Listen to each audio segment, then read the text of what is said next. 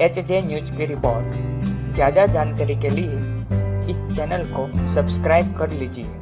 का होना प्यार है। फ़िल्म के ज़रिए बॉलीवुड में धमाकेदार एंट्री करने वाली एक्ट्रेस अमीशा पटेल। अपने ग्लैमरस लुक के लिए हमेशा सुर्खियों में रहती है।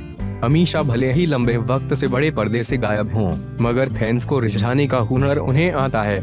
ऐसी ही कुछ ग्लैमरस सेल्फी उन्होंने अपने इंस्टाग्राम अकाउंट पर पोस्ट की है जिसके बाद वो इंस्टाग्राम पर ट्रोल हो रही हैं।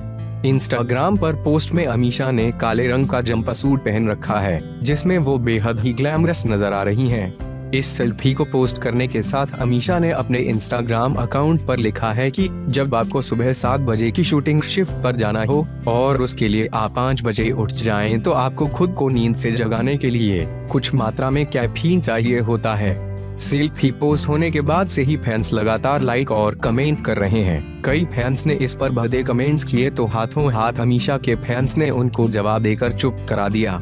वहीं अमीशा ने भदे कमेंट्स करने वाले फैंस को जवाब देने के बजाय अपनी खुद और ग्लैमरस तस्वीरें पोस्ट कर दी। इसके अलावा भी कई फॉलोअर्स ने उन्हें शादी करने की सलाह तक दे डाली।